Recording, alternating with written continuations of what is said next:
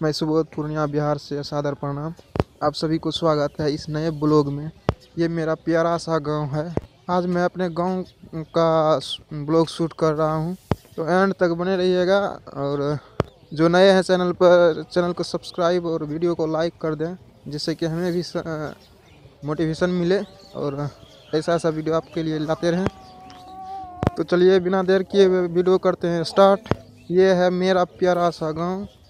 मेरे गाँव का ये ऐसा सीन है। तो मेरे गाँव में प्यारे प्यारे से लोग हैं। तो देख सकते हैं मेरा गाँव कैसा है। ये मेरा रोड लगभग आज पाँच साल हो चुका है टूटा हुआ तो अभी तक नहीं बना है।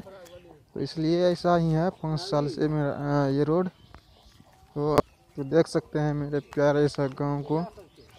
तो ये है नाश्ता वाले।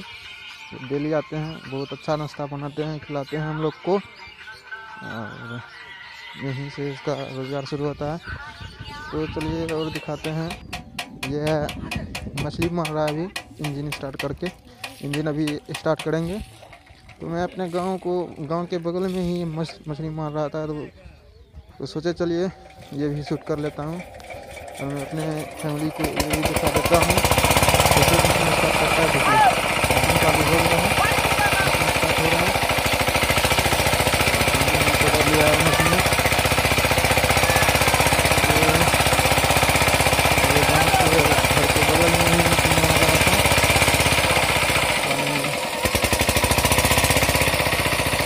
ही तरह से पकड़ा जाता है देख सकते हैं वीडियो अच्छा लगे तो लाइक चैनल सब्सक्राइब ज़रूर लीजिएगा क्योंकि हमें मोटिवेशन मिलता है, आप लोग अगर हमें सपोर्ट करते हैं तो देखिए कैसे मछली पकड़ रहा है। बच्चा सब है। इसी तरह मछली मछली पकड़ता है। और हम लोग एक छोटे से गाँव से हैं तो ऐसा नज़ारा देखने को मिलता है।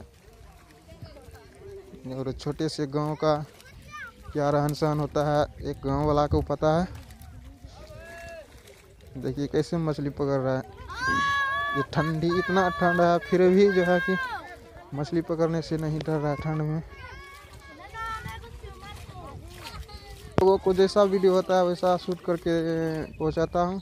मैं तो वैसा बड़ा यूट्यूबर नहीं हूँ। अगर आप लोग चाहेंगे तो बड़ा यूट्यूबर हो सकता हूँ।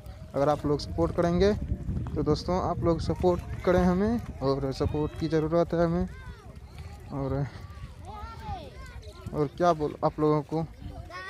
मेरे फैमिली मेंबर जितने भी हैं यूट्यूब फैमिली मेंबर सबसे मैं फिर से सादर प्रणाम करना चाहूँगा कि हमें सपोर्ट करें।